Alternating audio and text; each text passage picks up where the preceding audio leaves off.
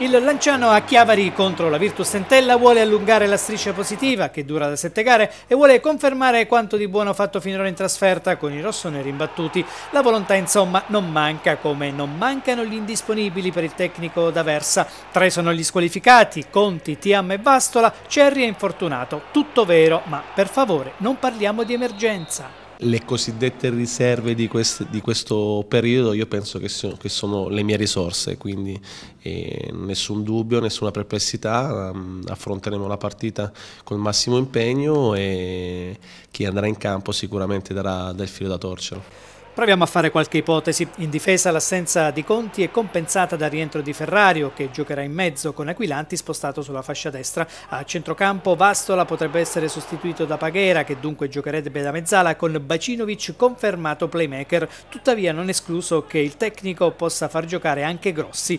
In avanti il contemporaneo forfè di Tiam e Cerri spiana la strada a Monachello.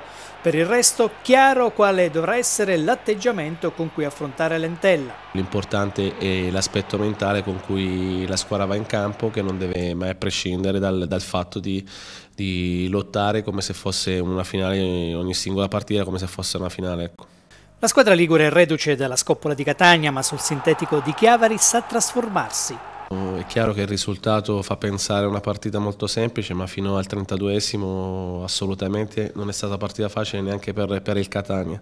E, mm, poi in casa, come giustamente hai detto te, eh, ha battuto il Frosinone, penso che la prima sconfitta del Frosinone sia stata proprio lì, quindi guai a sottovalutare l'avversario, anzi e, mm, vive ancora dell'entusiasmo della vittoria di un campionato, e, è una squadra, una società dove quest'estate penso che sia una di quelle che ha speso più di tutte, perché non ci dimentichiamo che ha preso giocatori come Marzolati, Maserati, come Sansovini, Rinaudo, è una squadra da tenere assolutamente in considerazione e anzi guai a fare l'errore di, di pensare di, di andare a fare una partita semplice.